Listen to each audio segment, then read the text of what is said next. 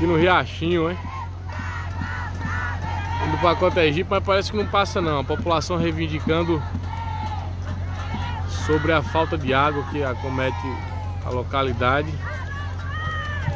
Acho que a ideia é de voltar com carro pipa o povo não tá aceitando não. E aí tá assim, ó.